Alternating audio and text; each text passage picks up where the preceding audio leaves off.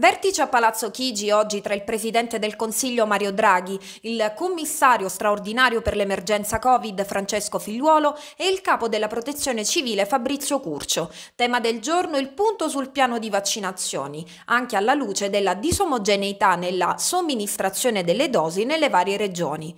Obiettivo quello di velocizzare la campagna vaccinale nella direzione di 500.000 inoculazioni al giorno, a fronte delle attuali 200.000 in Italia Italia a causa della mancanza dei vaccini.